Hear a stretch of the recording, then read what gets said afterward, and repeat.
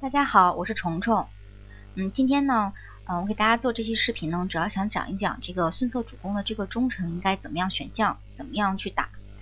嗯，因为就是孙策主公吧，虽然现在并不在那个呃锁定的主公选选将框里边啊，但是呢，买孙策的人也不少，而且呢，无论是在昂莱路人呢，还是熟人局，就是孙策出现的概率实在是太高了，就打孙策局。嗯，就是觉得有的时候大家可能。忠臣吧，不是很懂得装身份，嗯，也不会去掩饰自己，所以就是打起来，嗯，有点小小的坑爹吧，啊，有的时候呢，嗯，挺好的一个江面也会被打崩。我做这期视频呢，嗯，上一期是讲反贼的，嗯，讲这个孙策局反贼应该怎么打，这期我就想讲讲忠臣啊，啊，这一期呢，主要想讲这个吴将，呃，因为孙策本身是个吴国的主公嘛。嗯，我没有，我这期就主要想讲讲，嗯，吴国的将领跟他的配合吧。嗯，下一期呢，嗯，再讲一讲其他的这个武将，比如说邓艾呀、荀彧呀，还有这个郭嘉呀、袁绍之类的，跟这个孙策的配合。在说这个忠臣选将之前呢，还想简单唠叨几句孙策。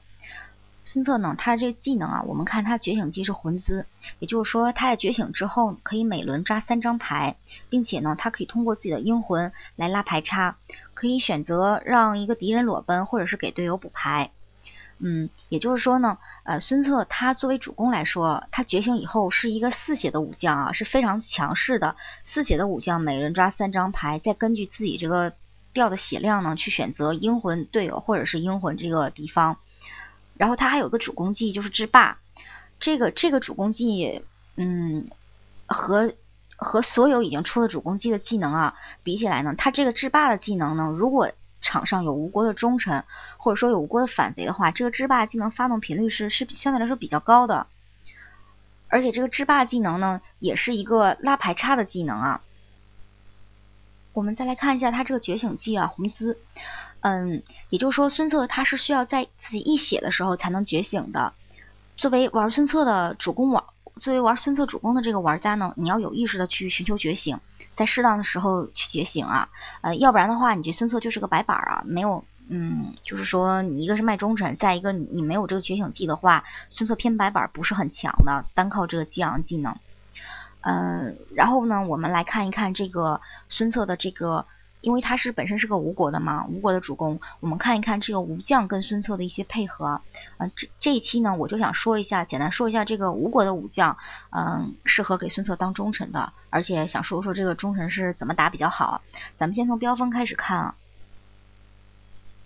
呃，我们看这个标风里边吧，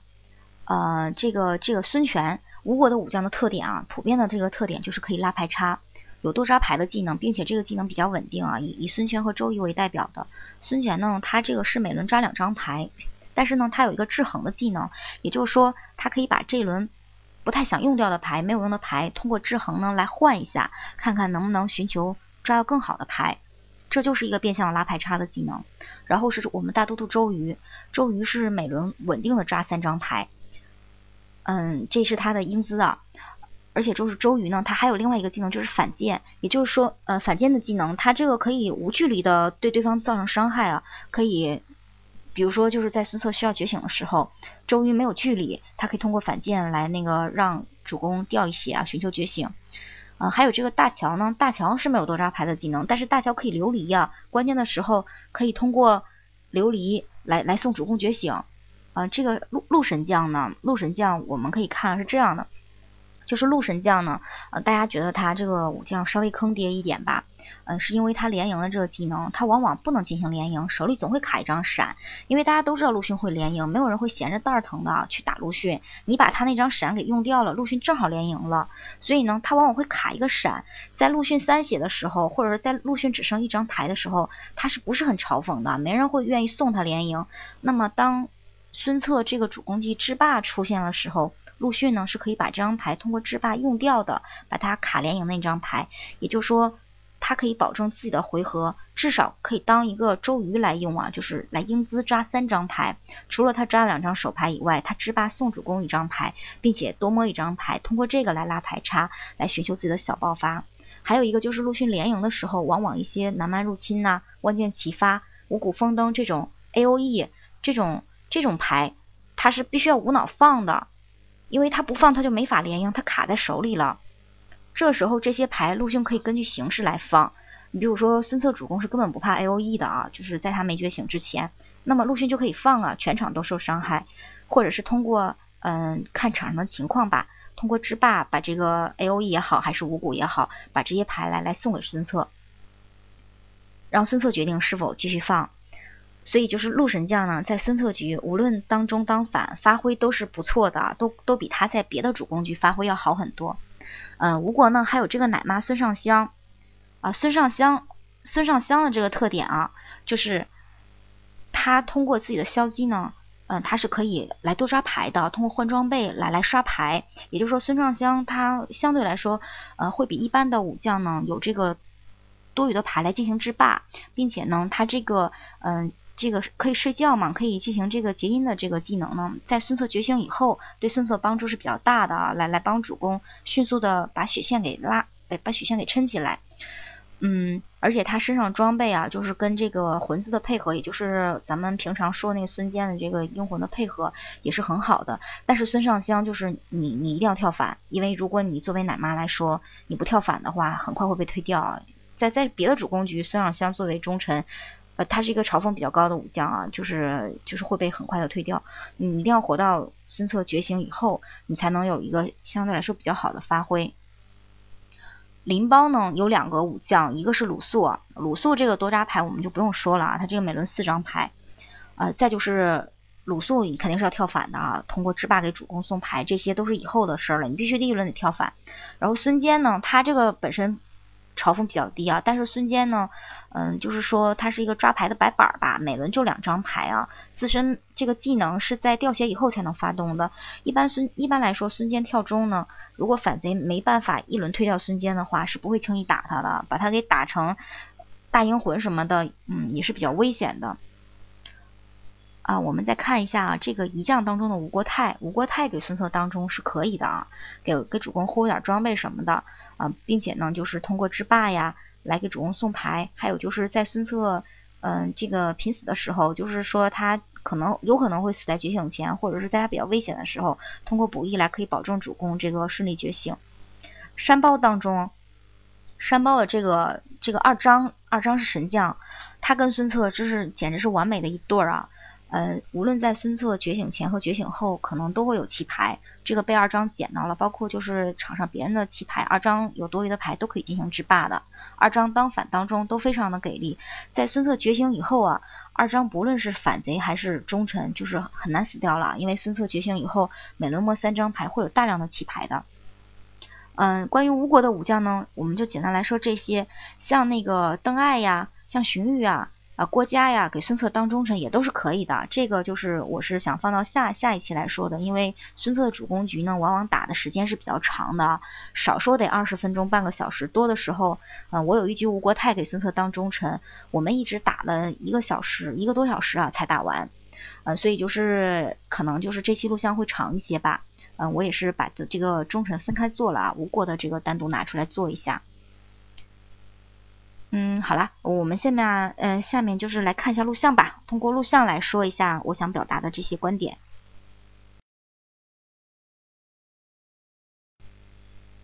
我们来看一下这盘录像。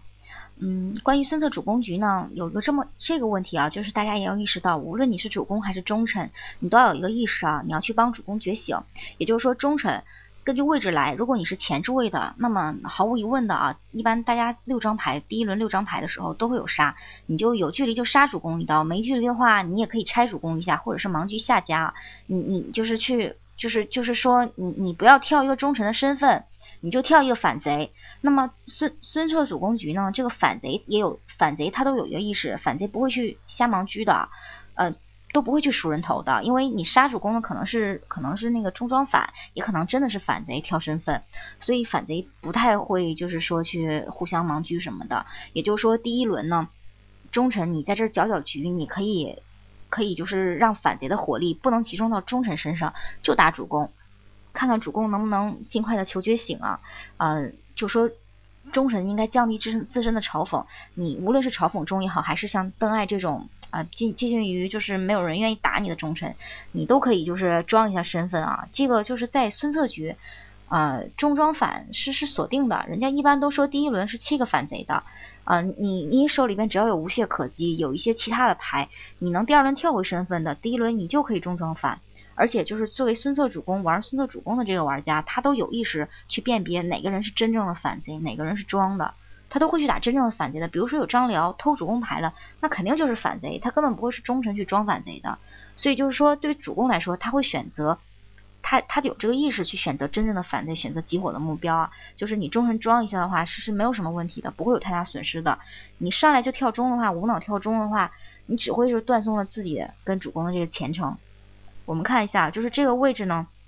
选邓艾可以，选香香也是可以的。嗯，如果是更靠后的位置，就不太推荐孙尚香了，因为孙尚香呢，他跟华佗一样，可以就是破主公觉醒嘛。靠后位置的是比较偏反的。嗯，再一个就是香香靠前位置啊，在主公觉醒以后啊，嗯，通过这个英魂来跟你弃弃装备一些配合吧，可以刷牌啊。你靠后位置的话。嗯，不太好啊。靠前位置通过一些刷牌什么的，有足够的牌了，在觉醒以后很快的睡下主公啊，保护主公在觉醒之后的这个血线是比较重要的。啊，我们的主视角玩家呢，最后是选择了香香。我们从这个场上的江面来看呢，嗯，赵赵云是比较偏中内的一个。嗯，一个人一个身份啊，如果他不是那种二逼的话，嗯，一般是不会在孙策局选这个流氓云当反贼的，而且离主公位置相对又很远。然后张合呢是比较偏反的，嗯，但是也不好说。嗯，然后有两个吴国的中吴国的武将吧，都靠前置位。我们看一下第一轮大家这个是怎么跳身份的。主公没有选择盲狙谁啊，直接就就就扔闪电过了。我们看，就是吴国泰，他这时候扔了一张红杀，并且顺了主公一下，废掉主公一张无懈。也就是说，在香香眼里吧，现在吴国泰跳的是个反贼身份。哦这时候鲁肃呢，他没有选择耗尸。其实呢，如果鲁肃是反贼，他可以选择耗尸给吴国泰啊，而且他扔了一张 K K 的 K 点的借刀啊。好，张春华呢，他就是可能没有梅梅花牌啊，你看他也他也没有出杀。或者是说他是反贼不愿意盲狙啊，他就火攻了主公一下。这两个人是什么身份不知道啊？就是现在在香香的视角来看，鲁肃是比较偏中的，我们可以暂时先给他标标一个忠臣的身份啊。因为就是他是反贼的话，他可以选择把这个孙策的牌给换一下。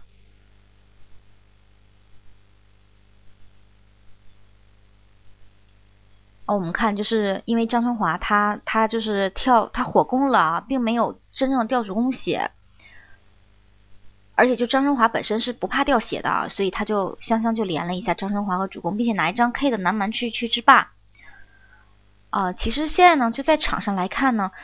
嗯，在孙策局不轻一方 A O E 的这种的，就是比较偏中的啊。赵云就是盲狙盲狙下家了，我们不知道赵云什么身份，而他没有打奶妈呢，没有奶妈也现在也是有藤甲的。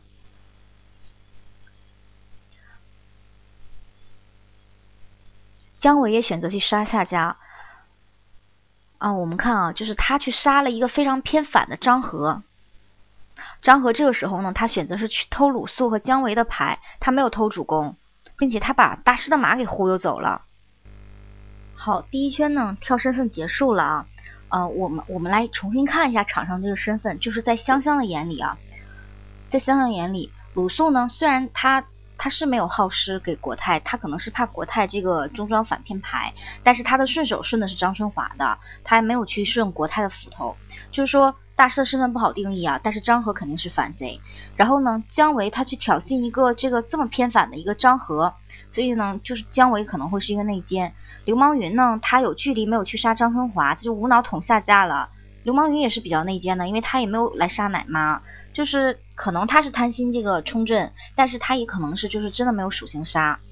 嗯，这不好说，就是就是场上呢，就是在香香眼里啊，大概是这么这么一个感觉的，而张合呢，就是如果我我当时当时是赛的玩张合，就是我如果我玩张合，就这个时候呢，姜维是比较偏中的。我可能就会选择去偷姜维和主公啊，把这个反贼的身份挑的再明一些，因为前边吧，你不知道他是真的是反贼还是装身份的，呃，不不是很好判断啊。然后我们看看主公这把牌是怎么出的。啊，主公呢也不知道吴国泰到底是不是装的，他就选择去这个打鲁肃了，因为在他眼里，他可能看到好多个忠臣，包括就是，就说包括就是说那个呃，这个这个奶妈呢，一个是他没有距离啊，可能他会认为奶妈也是反贼，但是但是就是说没有距离，也就他就选择直接去杀鲁肃了。而且张春华这个火攻很很致命啊，他火攻主攻一下，是不是一个装身份的神牌呢？而且就是张春华在在奶妈属性杀他的时候，他选择出闪了，没有卖这滴血。所以，所以在主公眼里，可能他也是个内奸。就是说，在这场比赛呢，香香他保护了自己，有一个大前提，鲁肃没有明确跳反，而且呢，后置位的这些人都都实在是打的实在是太像内奸了。哦，这时候国泰他扔黑杀了，其实他应该去杀孙策的，因为孙策无血呢，你杀他一刀根本就是离觉醒还好远好远，可以杀一刀的啊。哦，我们看这时候大师他跳反了，啊，他把这个主公和姜维的牌撸了一下，因为因为大师大师是反贼啊，在他的眼里，他也是看了好多个内奸啊，他不太确定这个这个到底谁谁是真正的反贼啊，而且而且可能他也认为张春华是个内奸。我们看啊，张春华这时候啊，他就开始翻二了，他就直接去打国泰了。其实，如果如果说吧，呃，如果说就是就是说那个吴国泰是忠臣的话吧，嗯，他不会就是送鲁肃这个好事的啊。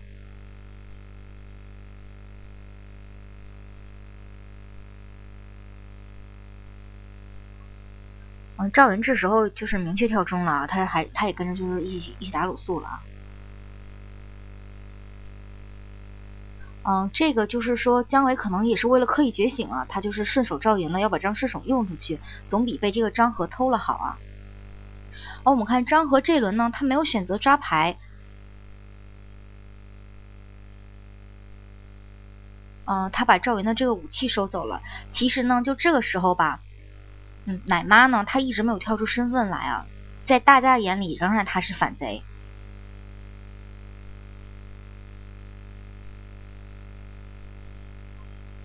这时候我们看啊，就是，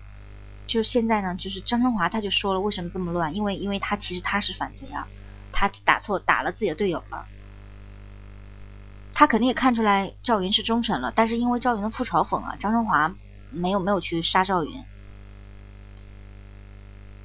嗯，因为奶妈装反，所以在大家眼里，在国泰眼里，鲁肃、国泰、香香还有张合是反贼，他认为张春华是这个内奸。或者是因为张春华是忠臣啊，然后这就导致了什么呢？我们来看国泰下一下一波的这个出牌啊，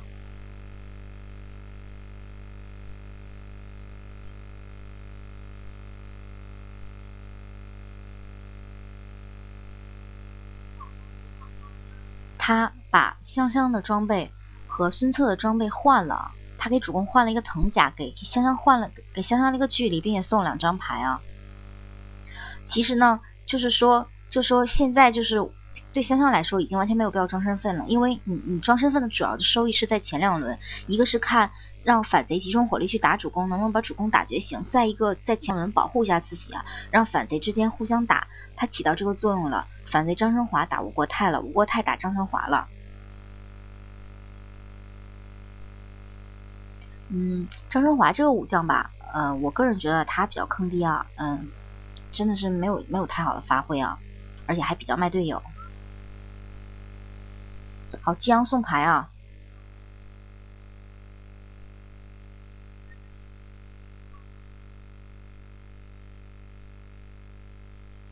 这时候就是香香是完全没有必要睡主公的啊，因为因为那个孙策是不怕掉血的啊。A O E 放的也没有问题啊，全场这个都都会跟着掉血，而且姜维的，嗯，姜维这么多手牌，其实可能会是有闪的，但好像他真是没有闪啊。现在的身份就是很明了啊，这这三个是反贼，加张合是反贼。嗯，就是关于玩游戏呢，可不可以说话这个问题吧？我觉得，嗯，说话是比较有乐趣的啊。我说我是中，我说我是反。嗯，说是这么说，但是得有人信才可以啊，我是没有问题的说话。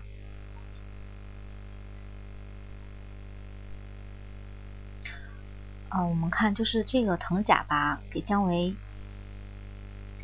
嗯，姜维其实呢，他有挑衅的这个技能啊，加个藤甲还是可以的啊，因为你不把姜，你不把藤甲挪走，打主攻只能靠火杀雷杀，这样是比较少的。嗯，就就是属性杀相对来说是比较少的。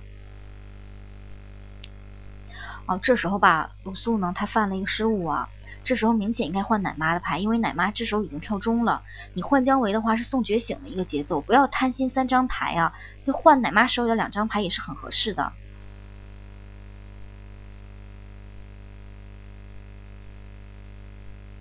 嗯，这么说就是说每一局游戏啊，有的时候并不是说那种啊两方打的都很好来拼出一个胜负，有的时候别人的一个小失误你抓住了的话，呃是可以就是说走向胜利的，不可能说就是呃谁都没有失误啊往下打。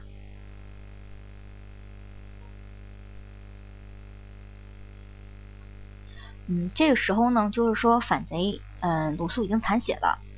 但是吴国泰、张春华和张合的状态相对来说是比较好的啊。赵云这个时候他还选择继续去这个嗯杀啊杀这边的那个反贼啊。啊，我们看就是姜维呢，你在姜维的身边吧，其实是挺被克制的，尤其是山包的武将，像这个蔡文姬啊，像张合呀，像二张这种吧，呃，特别被姜维克制啊。你在他身边，每轮挑衅你一张杀。像张合偷牌吧，啊，有的时候是偷不到杀的。这时候就是关兴非常给力啊，啊，A O E 就是一个送主公觉醒并且收人头的一个角色啊。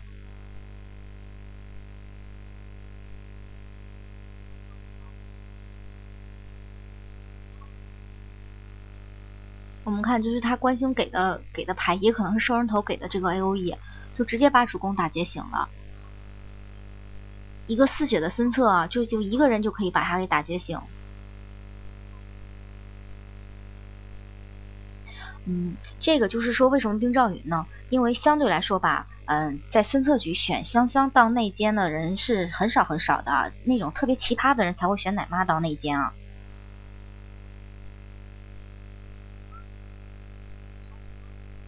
我们看啊，姜维这个，嗯，他刚刚都找了攻击牌啊，可能就没有桃子啊。有可能有桃，嗯嗯，没打算救啊，因为这时候内奸肯定是会跳的。就是奶妈在孙策觉醒以后是非常值得救的啊，不仅阴魂可以跟孙策进行配合，而且就是睡两下，这个孙策血线就撑起来了。啊，这时候就就留一张闪啊，果断选择去睡下主公。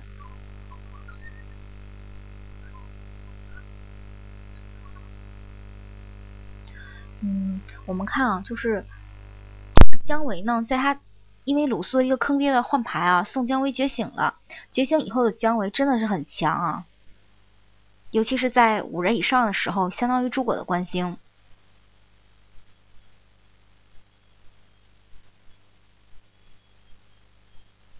就是香香啊，在孙策觉醒以后非常的给力啊，只要他身上有一件装备，那么阴魂给他的话，他这个刷牌量，嗯，有的时候可以堪比孙权啊。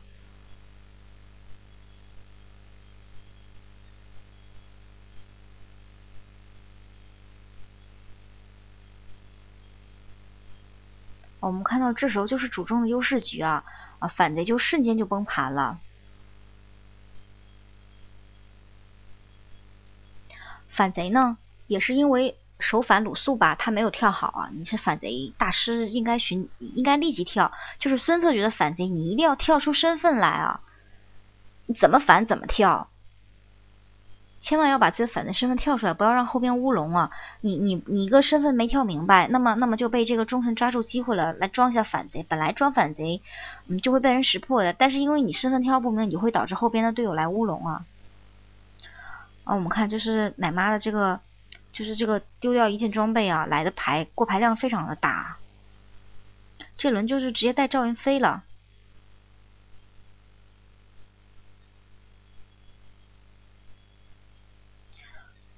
嗯，就是因为这个反贼之战乌龙吧，呃，其实反反贼配置非常好的，有神级的反贼张合，并且还有鲁肃。就这局比赛呢，呃，奶妈上来是没有跳的啊，而且还拿了一张 K 点去配，呃，去那个制霸主公来拼掉主公的一张牌。因为第一轮没有人打孙策吧，孙策拿那些牌什么杀闪的没啥用啊，拼掉一张无所谓的。而且就是这张 K 点呢是南蛮入侵啊，更好的就是帮他呃伪装了一下这个伪装了一下身份。嗯，这盘录像呢就是很典型啊，由于这个身份不明，所以大家来来来进行了一个乌龙。啊，再就是一个典型的这个。呃，孙策觉醒以后啊，跟奶嗯奶妈香香之间的一个配合，呃，这么说就是孙策局啊，孙尚香是绝对可以当忠臣的，你就是一定要跳孙策局，无论你什么身份当忠臣，就比如说邓艾当忠臣吧，你也可以上来就跳反的啊，跳反贼算是一个锁定技。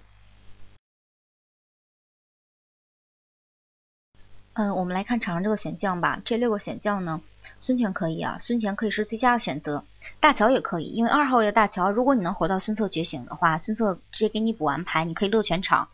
祝融也可以啊，这个吸吸点 A O E 什么的啊，但是这个紧挨着主公呢，嗯，比较偏反啊，因为这个有猎刃嘛，如果你上来跳反的，你你装身份跳反的话，就杀主公，你说你猎不猎刃？不猎刃你不就是失败了吗？猎刃的话还坑主公一张牌啊，嗯，所以就是有吴国的。并且有孙权啊，孙权是适合任何身份、任何位置的，就秒选了。我我自己非常喜欢孙权啊。我们可以看一下场上这个江面啊，啊，场上这个江面呢，别的人不好说啊。啊，这个位置蔡文姬，就是这个蔡文姬是是比较偏反的。呃，我们那个是就是几乎就没有选蔡文姬当中的，因为这个当中太坑内了，而且就是嗯，本身蔡文姬当中人就很坑爹。咱们来看一下这个出牌吧。这主公呢是随机进来的一个路人啊，啊，我认为是这样吧。既然他敢选孙策，那么他一定是会玩的，至少他应该有觉醒的这个意识啊，所以他才会选孙策主的。我们看啊，蔡文姬其实跳反了，对吧？他来判主公。这红桃呢，张角没吸到药这五谷，他没有去换。然后主公不选择掉血啊，嗯，其实呢，就是你完全可以掉血的啊，无血完全可以掉血的。啊，这时候吧，我我的牌呢，我肯定是要杀主公一刀了，来来跳个反贼的身份。但是你可以看到我这个牌有两口酒啊，如果我制衡酒的话，这装身份就失败了，所以我就喝酒红杀他了啊。我想的，我的剧本是说，就是我说，哎，我出侧杀了，我应该出黑杀，因为这样比你制衡两个酒要好很多啊。蔡文姬这个时候跳反了，那他跳反继续潘贝哥，因为他认为我是忠臣啊。他认为红杀杀主的应该是忠臣，这边张角贪心这个桃子啊，给我换了黑桃，我这时候给他们标的都是反贼啊，我我觉得这个左思应该也是个反贼，但是呢，你这么想啊，就是你你轻易的掉孙策的血其实是不太合适的，因为说不准哪个人就是忠臣啊，孙策可能就第一轮就醒了，所以他的身份其实是未知的。这里吧，就是我就因为我被翻了，我下轮动不了了，我我决定不顺主公的牌了，我不装了，我就把这牌顺过来，顺顺一下这个二张的吧。因为因为我下轮动不了，所以就是赶紧顺，看能不能顺个闪啊什么的。嗯，就是现在在反贼的眼里啊，他们可能他们怎么看我不知道，但是我觉得这这这两个绝绝对都是反贼啊。好，这这跳反了，因为现在主公三血，他还去杀主公。其实这时候孙策还是可以求觉醒的啊，你可以你可以留着闪防九杀嘛，对不对？你掉一血两血是完全可以的。这是反贼啊！故意给二张扔装备。嗯，他倒也有可能是内奸。我先给标反啊！这时候吧，姜维啊，他去挑衅蔡文姬了。嗯，我当时是给他标的是忠臣。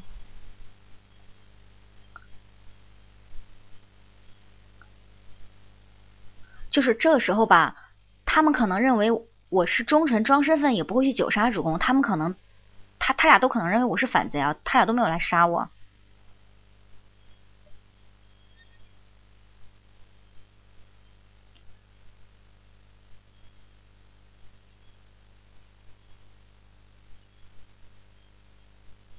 好，我们看啊，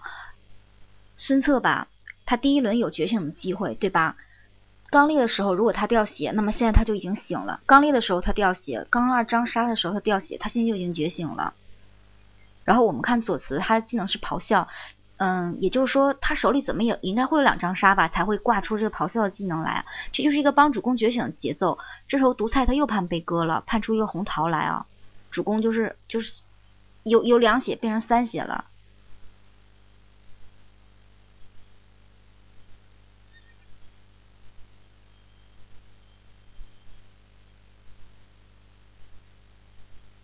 嗯，其实打到这里吧，我认为就是这个左慈应该是一个偏中内的啊，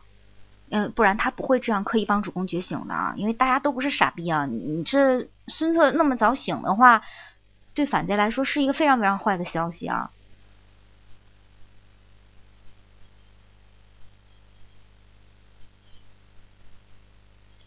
嗯，就是这个时候啊，这个时候呢，嗯。我我我认为左慈是内奸，我认为这个姜维是忠臣啊。我觉得张角和蔡文姬他们俩搭档的，这应该都是反贼。嗯，其实呢，独菜打的点问题都没有啊，就勇敢的判背哥，判到红桃，孙策就不能觉醒啊。判到黑桃什么的，你这直接让忠臣倒霉啊。他们这个时候可能就反应过来了，就觉得我可能是偏内奸这种的吧，去杀主公，然后顺下家，然后就已经开始杀孙权了，然后他们还杀独菜。我们可以看啊，现在场上呢，呃，除了张角不不改悲歌，让让孙策加血以外啊，所有的人都是杀孙策的啊，包括包括我这个忠臣，包括左慈都是杀孙策的。这这反贼已经看不清楚身份了，他们去杀蔡文姬了，这非常非常的坑爹啊！独菜明显就是个反贼啊！你可以站在独菜的角度想，为什么独菜这个时候要判悲歌？因为判悲歌。孙策回一血没有问题，但是你让忠臣翻面或让忠臣弃牌，都是一个嗯很很很很划算的一件事情啊。哦，这时候呢，我一直认为这个姜维是个忠臣啊，啊，他们他们居然是把独裁给杀了。嗯，其实呢。嗯，我们换个角度想想啊，无论是我第一局的那个九杀，然后顺手下家，还是说左慈的这个刚烈，还有包括左慈咆哮主公啊，啊，其实这个这种就是都不算什么真正的装身份啊，呃，只有忠臣才会这么去打吧，因为毕竟这不是孙权局，这是孙策局啊。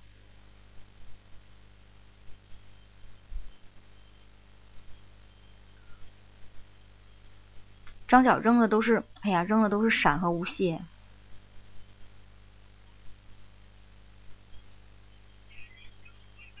我们看啊，这时候孙策他也看明白了，就是求觉醒了。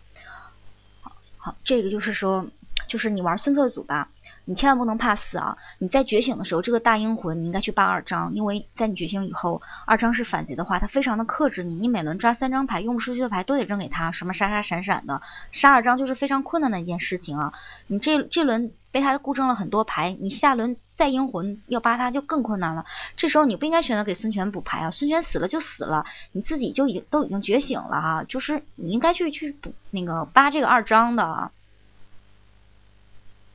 可能他认为孙权的用牌能力强吧，所以就就这样就扒孙权了，啊，就就给孙权补牌了。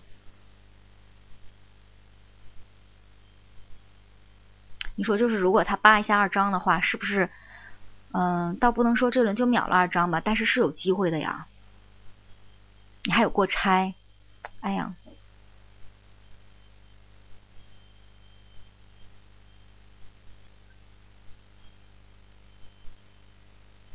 哎，这顺手都给扔了，这愁死了。就是二张吧，在孙策觉醒之后，如果是反贼，特别特别的克孙策。嗯，就说这局呢，反贼肯定有他打的不对的地方。呃，我们在玩的时候也不可能保证自己的每张出牌哈都是正确的。这时候我把桃子送给主公，把桃送给他一个。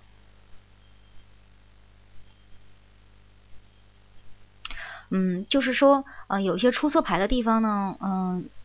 都是正常的，不可能一张牌不出错。就整整体的思路应该是这样的：就在你大阴魂的时候，选择去扒二张，先杀掉二张，不然你这很难很难把他们打掉啊。而且呢，就是孙策现在一血，其实其实反贼有距离，应该去推主公的，不应该来这时候打打孙权啊！你打孙权做什么呀？哎，这时候我才知道，原来姜维真的是一个很很坑爹的反贼啊！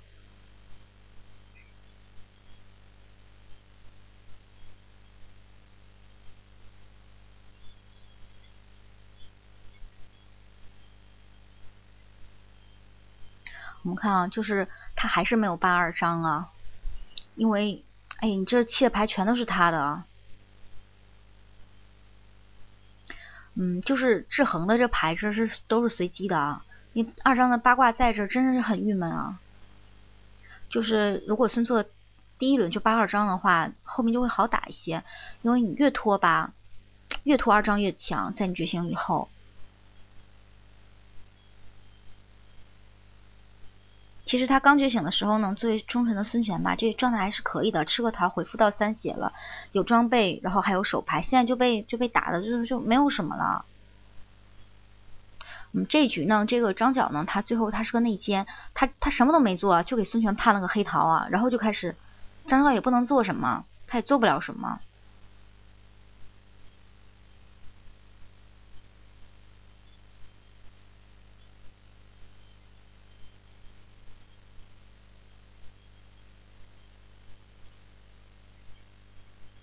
这时候他可以去杀，他可以先杀左慈给我补牌，然后再开桃园的。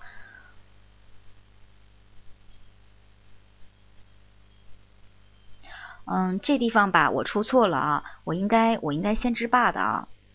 啊，我就是忘了这码事儿了，因为整个这这，你看到这整个这场吧，我都没有那个，我都没有跟孙策制霸，因为我也没有多余的牌啊，所以就是就是我这块。呃，刚好给他送了个桃子，然后就没再制霸了吧？就是我这次忘了，没没方天三杀，很坑爹啊！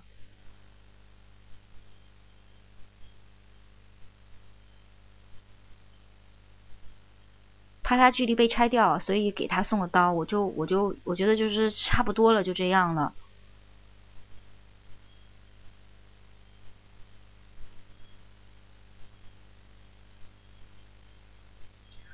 就是说，在孙策主吧刚醒、刚觉醒的那一刹那吧，那一轮他是非常脆的，反贼完全可以去推主啊。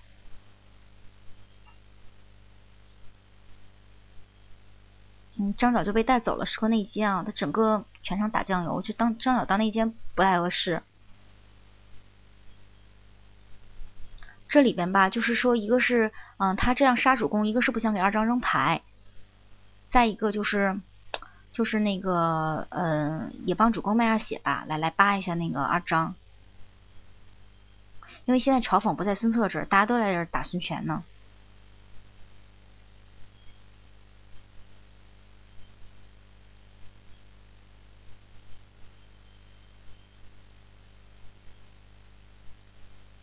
嗯，这时候就是我就拿了 A O E 了啊，嗯，这边左思也说拿 A O E。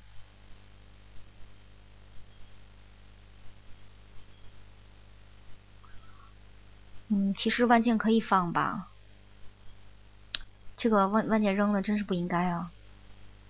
然后那个，嗯，这里就是运气比较好啊，我直接裸抓牌就抓了一个 AK 来，嗯，然后他这个劫命就给主公补就行了。我们看孙权吧，不管他当不当主公，孙权的个人能力在那儿吧，有毕竟有制衡啊，你可以把一些不需要的牌换掉啊。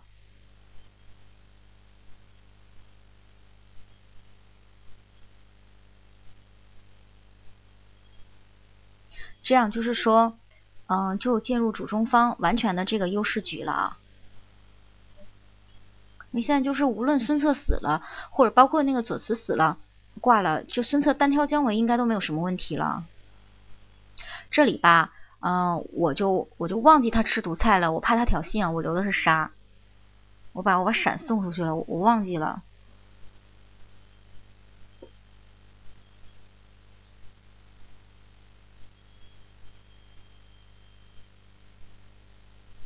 嗯，我们看啊，这局就是典型的那个忠臣庄家身份，但是其实我这二号位忠臣庄身份，因为我被翻面了，所以其实，哎呀，就算失败了，因为反贼他们之间的乌龙吧，自己吃了毒菜，这这就变得好打了很多。嗯，在孙策局吧，毒菜是一个很反很反的一个角色啊，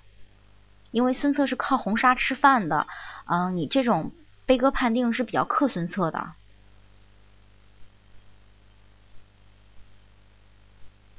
嗯，这就是说最后就主中优势局啊，怎么打姜维都挂了，而且姜维是白板啊，因为他吃菜了嘛。嗯，就是我觉得呢，在吴国的忠臣当中吧，孙权给孙策当忠臣很好，呃，因为他是孙权本身的这个个人能力是比较强的啊，可以打输出，嗯，可以找桃，还手里还可以存无懈，往往就是在场上需要无懈的时候啊，能出出来无懈的人。是孙权，还有袁术，因为袁术过牌量特别的大。袁术现在就是，嗯，房间里边就是我和大家说，就别选袁术了，选袁术玩起来特别没劲啊。你这个夸抓一个 AK 无脑抓了那么多牌，突突一顿杀，挺没有意思的。再碰上个二张，再一火的话，别人都不用玩了，托管看你们俩来回搞基就行了。啊，所以就是我觉得就是，嗯，在这些个人能力比较全面的一个武将吧，就是孙权吧，可攻可守。而且就是他这个找关键牌的能力是非常强的，跟孙策的配合也很好。因为孙策觉醒以后呢，有的时候没有什么可扒的牌了，补牌的首选那就是给孙权补。孙权有牌了以后，就可以制衡，找更好的牌来发挥一下自己的作用啊。用不用不掉的牌还还可以通过制霸再还给孙策。嗯，再就是孙策的这个忠臣二章也是非常不错的。我们看到就是后期左慈吧，啊，他这个化身有个周瑜。啊，周瑜给孙策当忠臣也可以，但是周瑜你一定要跳反，因为你不跳反，三血脆皮很快就很很快就跪掉了啊。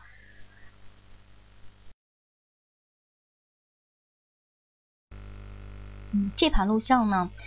这盘录像呢，就是没有什么太多的装身份了，因为这盘录像呢，嗯，有有嘲讽的忠臣啊，这个在孙策局，呃，嘲讽的忠臣，一旦他真的跳中了的话，呃，忠臣就没有必要再装身份了，因为你你再装的话，你就把那个嘲讽的忠臣给卖了啊，他很快就会被打死的，这时候你该该怎么打就怎么打了，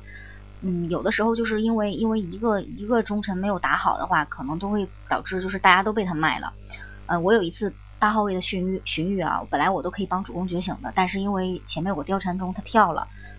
我嗯，大家都去火攻貂蝉，决斗貂蝉，没有办法无懈可击打出来了，所以就是最后我们反正那局最后是输了啊，因为就是很快貂蝉和荀彧就就会就会被打死的，啊，孙策根本都没有觉醒啊，就就没有机会了就，嗯，这局呢就是说。嗯，我我做这局呢，是因为这局也有两个吴国的忠臣啊，有有有陆逊和这个二张，我们看一下，就是他们和这个孙策的一个比较良好的一个配合。我们先看这六个选将吧，嗯，这个位置呢，奶妈肯定是不好的，因为你会被盲狙，因为八号位实在是太反了，你正好破觉醒啊，相对来说配合也少一些。嗯，太史慈呢是可以的，嗯，但是就是这个位置吧，嗯，太史慈前面身份跳完以后，你容易被。这个这个前面位置发现啊，而且太史慈太嘲讽我。如果是在太史慈和陆逊当中选，我肯定是选陆逊的，因为陆逊在孙策局发挥真的是不错。啊，有的人可能不这么认为，就认为陆逊这样他就是个坑爹的选将啊。你是没有被陆逊虐过，如果你曾经你是反贼，你你打孙策加陆逊，你打到那种很痛苦很痛苦的那种情况下，你就知道陆神将有多么厉害了，在孙策局。啊，我是选陆逊了啊。嗯，这房间呢，全都是我们认识的人啊。啊，关于说话这个问题嘛，就还是仁者见仁，智者见智啊。嗯，你不喜欢说话，你可以选择就是禁言啊。我们是比较喜欢逼逼的，说说话比较有意思啊。他这个盲区贾诩一点问题都没有啊，贾诩在孙策局是比较偏反的。哦，他跳反了。啊，我们看。这时候二张给贾诩固正了，固正了一张黑杀。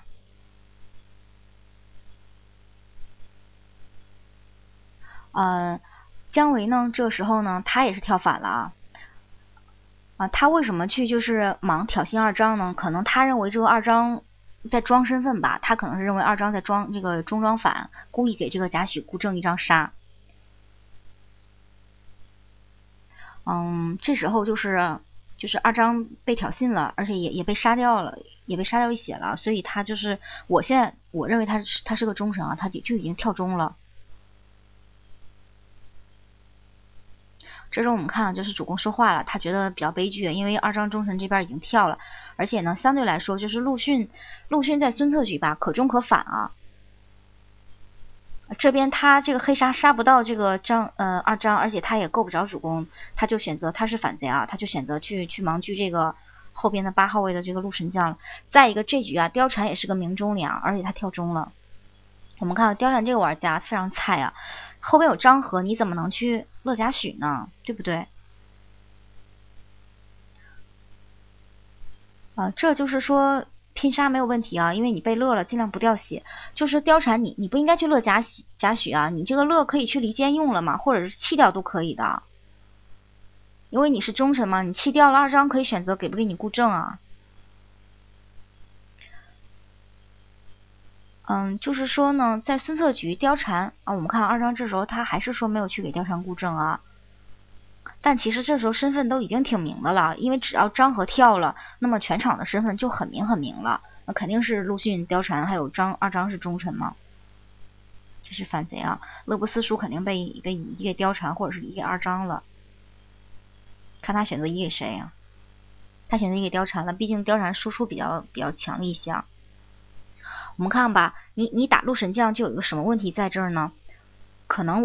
我我会卡一个桃子。但是你打了我了，你不知道陆神将手里是什么牌。你打了我了，我把这张桃子吃了，现在我就进入一个连赢的节奏了。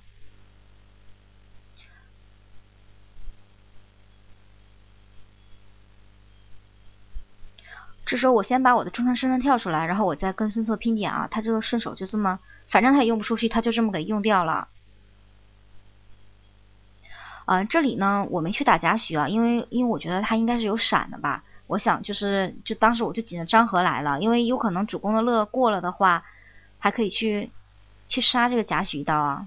我们看就是神将呢，呃，如果进入连赢状态的话吧，嗯，确实是靠 RP 啊。但是谁不是靠 RP 呢？抓牌你抓到桃也好，抓到杀，抓到 AOE 你都是靠 RP 的嘛。你通过卡的一张闪啊，跟这个孙策小小的制霸一下，你就连赢了这么多张牌啊。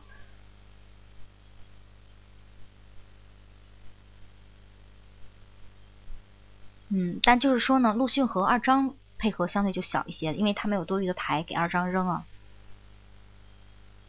我们看孙策这时候选择卖血，因为如果貂蝉这个乐过了的话，嗯，离间一下，我再给他一刀，他就这边那个八号位的忠臣给一刀，也就也就觉醒了。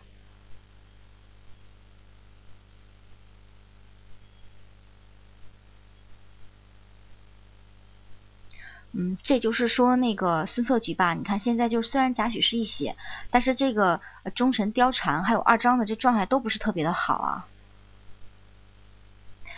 陆陆逊呢，他是一个相对来说嘲讽比较低的武将，当他剩一张牌的时候，真的没有人愿意去打他啊，因为他剩的不是很可能就是一张闪。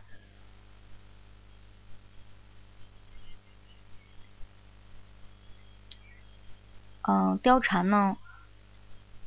这边有贾诩啊，所以貂蝉手里可能会剩桃九，甚至说可能是张杀防乱五的啊。这时候就是他选择帮姜维去觉醒一下。刚刚他那个拿了一张，嗯，他拿他拿了一张闪，呃，五谷拿了一张闪吧，是拿一张闪。啊，这里我就寻求连赢连赢了。嗯，虽然只连用了一张吧，也相当于周瑜吧，而且送了主公一张闪。主公把这些牌弃掉了以后呢，这些牌就变相的被二张给收了啊。他果然是两张闪，刚好像拿一张红桃闪吧。哦，我们这时候啊，孙策，孙策肯定是有杀的手里啊，因为他杀已经扔杀了。这时候孙策二张都是有杀有闪的啊。我们看啊，嗯，这个贾诩呢，他选择呢捡一马来杀我，其实是其实挺不明智的，因为陆逊很可能卡一张闪啊，你这张闪连赢走了的话，嗯，不就又来其他的牌了吗？而且呢，这个乱舞特别的坑爹，因为姜维现在是空城状态啊，二张明的杀，你这种乱舞吧，你会把姜维的血线给压下来的，他马上就觉醒了，三血觉醒多么好啊，一下扎四张牌，而且就是你杀神将陆神将。陆逊他没有闪，那么那卡连营的牌除了闪以外就是杀了呗，或者是张桃或九，也就是说你觉得乱舞是带不走陆逊的，呃，倒有可能带走貂蝉啊。嗯，贾诩这个武将呢是需要队友强力配合的，把主公血线压下来，然后进行这个开大或者进行完杀，呃，来那个带走主公，赢得比赛的胜利。就是你这个乱舞吧，你想乱舞带走貂蝉和带走陆逊，其实意义不是特别的大啊。因为你的目标是主攻嘛，而且你这个乱舞这么坑爹，尤其是把这个姜维给坑了，而而且坑张合，张合就是血线一下就下来了。哦，我们看这时候呢，其实主中方是比较有优势的啊。虽然就是说陆逊和貂蝉都是残血，但是曹仁翻面了，下一轮貂蝉就该动了。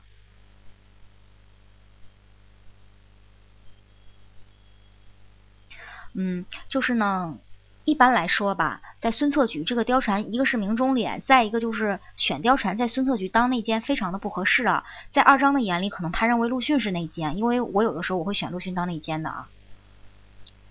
嗯，但是在我的眼里，我觉得这个貂蝉是内奸，因为我比较了解他，他不会选二张这种这种武将来当那个当内奸的。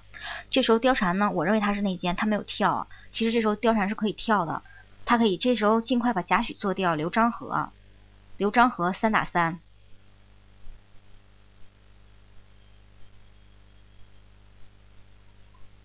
嗯，我刚连了一个桃子，比较幸运啊。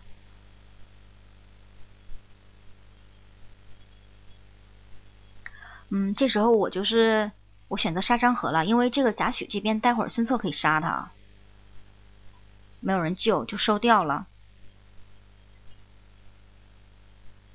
嗯，这牌呢就是说肯定是要留九和无懈的，就把杀送出去。现在反贼方已经没有桃了，小内估计也没有桃，就是反贼就直接就崩盘了，因为你这种状态的孙策，嗯。还有这种状态的二张吧，打不动他的，一扔就一把牌啊！我们看到二张给孙策当中非常非常的给力啊，嗯，因为孙策他激昂可以多摸牌，当孙策三血了，不是不是满血的时候，他那个多余的牌肯定是都要扔了的。然后二张是无果的，又可以通过制霸把牌再送回给孙策，这就是一个死循环，来回扔牌。这边又有陆逊啊，每轮可以制霸啊。这时候就是二张仍然在给这个貂蝉上装备什么的。嗯，这时候就是闪电吧，比较关键啊，最好把它拆掉。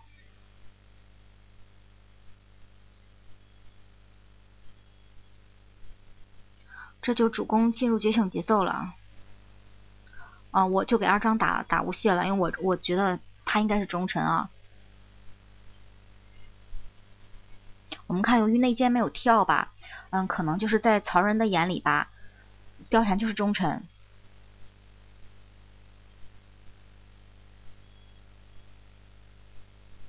貂蝉这时候仍然没有跳，就是这种死忠内啊，我们我们是非常讨厌的。这时候其实反贼已经崩盘了，就是貂蝉现在当反打可能都输啊，他还这样就是这么做啊。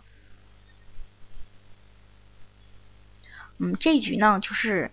这两个吴国忠臣吧，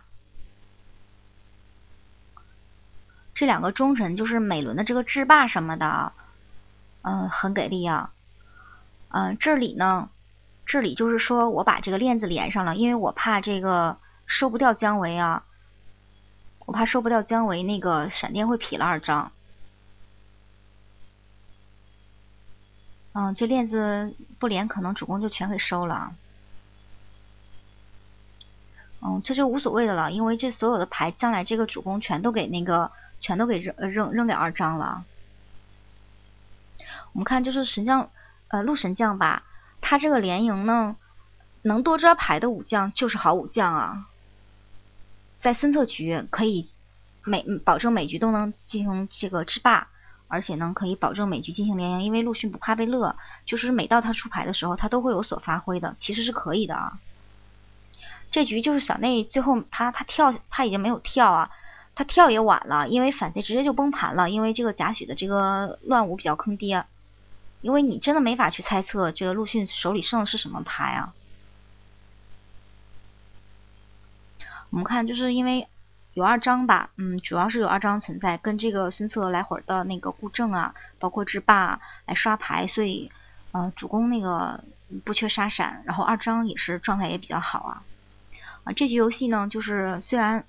忠臣都跳了，嘲讽的忠也跳了，嗯，我们仍然是就是说赢了吧，呃，跟这个反贼坑爹有关系，也跟这个嗯，也跟这个配置有关系啊。我们看到就是就说那个，呃，这里边就是反贼也没有什么真正的输出啊。贾贾诩他就是个白板啊，他唯一强就强在他的玩杀，嗯，要么就就是个白板啊，自己抓两张牌抓张杀都困难。所以有的时候，嗯，这种选项挺坑爹的。贾诩啊，当反贼的话，还是偏后位置好一些嘛？根据前面打的情况来选择是否开大。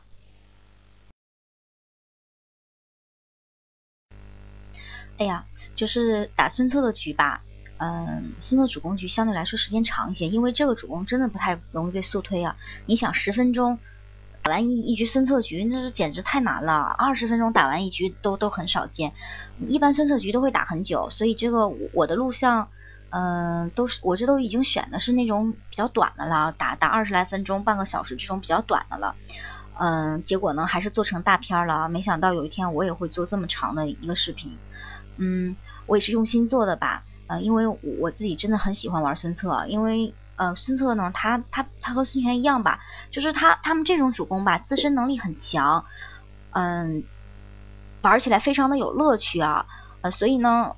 我我们在 online 上面吧，有的时候就是碰到一些人，他他是真的不懂怎么去打，嗯，有的时候也也觉得挺坑爹的，也也也很无奈啊，有的时候我就是说。打个孙策局真是各种痛苦啊！看不明白身份的、瞎打的、呃那个无脑推主的这种的，就把孙策打觉醒了，什么样的都有。嗯，就这么说吧，呃，毕竟现在那个 online 上面这个反贼还是很强势的吧？反贼你坑坑爹坑一点吧，你都可能会赢啊，因为你有强力的队友啊，包括你打的不好，你的队友打的好也就可以了。但是忠臣只有两个，如果你两个忠臣都坑爹的话，或者说有一个人够坑爹的话。你主公真的就没什么希望了啊！主中方赢，你不能指着内奸帮你打天下。呃，作为一个忠臣来说，应该好好的辅佐主公吧。选将一定要选好，并且就是你在打法上边该该装身份的时候，嗯，该杀该杀主公跳反的时候，你就应该这么做。嗯，我特别希望这个呃 online 上边大家也都慢慢的懂得怎么去打孙策，呃，怎么去和孙策进行配合，这样玩起来才比较有乐趣啊。如果是就是你也不会玩的，我赢了也没有什么，也也也也也不也也没有也没有什么成就感啊，而且玩起来也也特别没意思啊，就是这种的。嗯，就是说希望大家呢，嗯，也许我这视频呢，并并并不一定能嗯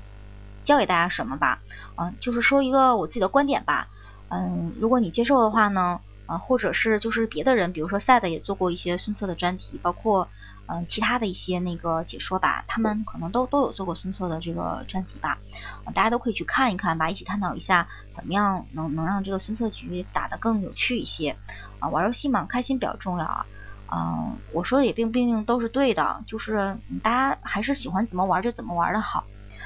嗯，多谢大家支持吧，嗯。呃，下一期的那个我还是会做这个孙策忠臣的，来说一说这个孙策的一些神忠，比如说邓艾，比如说荀彧，还有这个袁绍啊，他们怎么跟孙策进行配合？嗯，孙策主公和他配合的人有很多，呃，很多人都可以跟他形成配合，只是说就是，嗯，有的配合多一些，有的配合少一些罢了。其实就包括大家认为的这个诸葛亮吧，跟孙策的配合也是很好的。嗯，我的朋友们就是玩老诸葛玩的好的，跟孙策给孙策当忠臣。呃，很很容易赢的啊，因为空城的诸葛没人打，你只能选择去打主了。就是下期给大家做吧。嗯，这期呢视频有点长，嗯，如果有耐心的嗯朋友看到最后的，啊，我也谢谢你们的支持啊，嗯，谢谢大家，再次谢谢大家了。